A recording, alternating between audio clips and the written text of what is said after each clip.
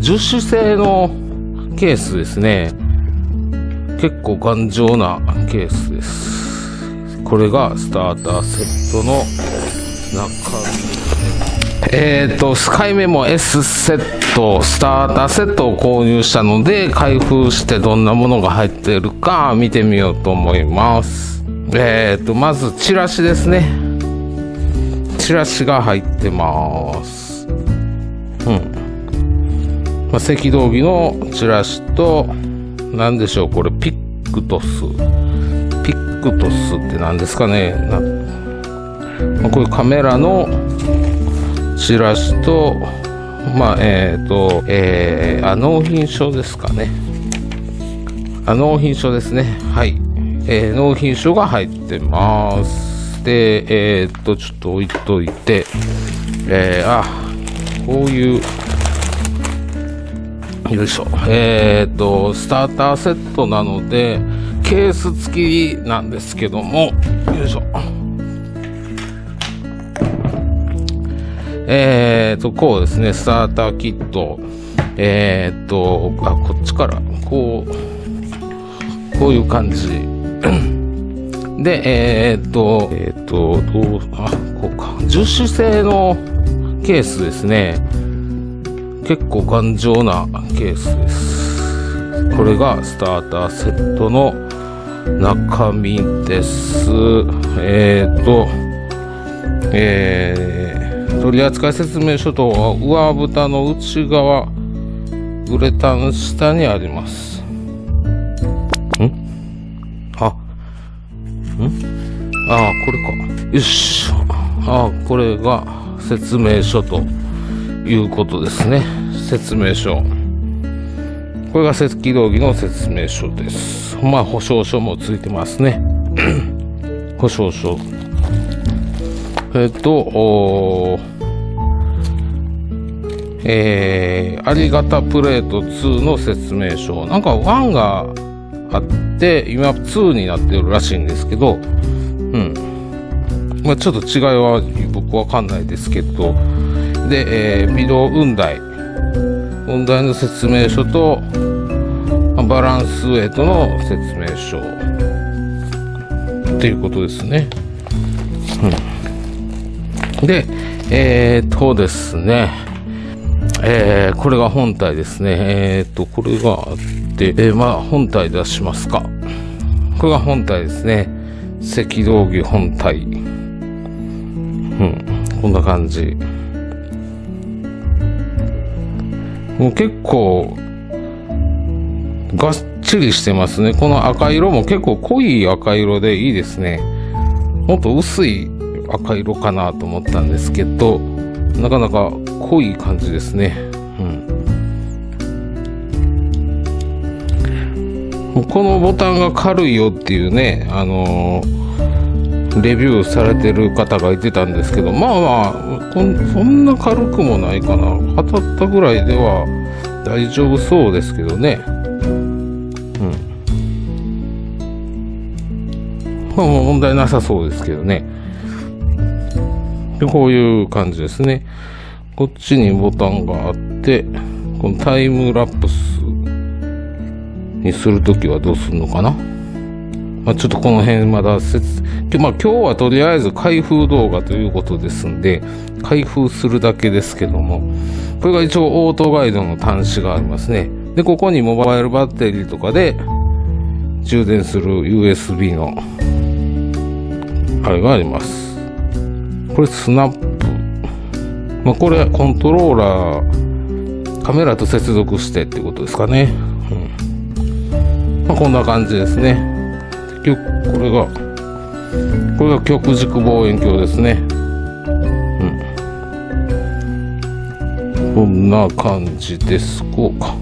おおこれが極軸望遠鏡。まあこれちょっと最初にセッティングをしないといけないでしょう。けど、とりあえずこれが本体ですね。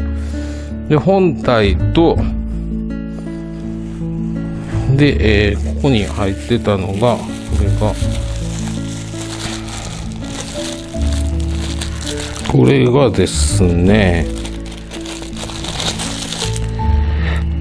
これは何でしょう。これはよいしょ。こういう感じかな。え？こう？こう？あこのこうかな。ことですかね、うん、ちょっとまだわかんないですけどちょっといろいろやってみますこういうものが入ってますね。カメラネジみたいなのがついてますけど。でえー、よいしょ。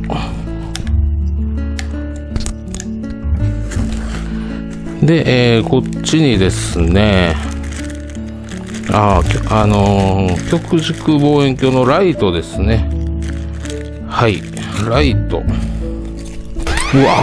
危ねライトと、えー、電池ということでボ、タン電池 CR20323 ボルトってやつが入ってますね。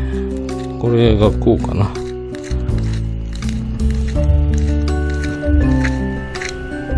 うんここれをこう入れる感じですねでまあまあまあまあとりあえずこれでよし。でえっ、ー、と次にこれか。これが、えー、ありがたプレートのあれですね。多分本体のもうこういう感じにつけるんですよね。こういうちょっとつけてみようかな。まあここにはめる感じですよね。よしよしよしよし。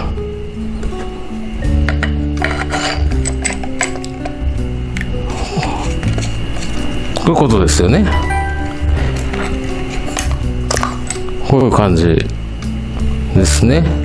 でえっ、ー、とあとですね。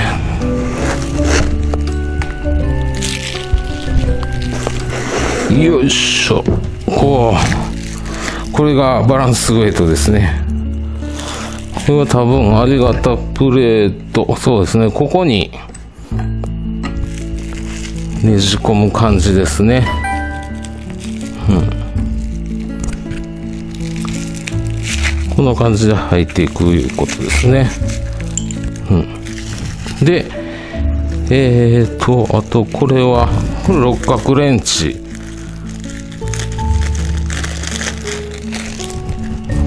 これ六角レンチとこれが何ですかね。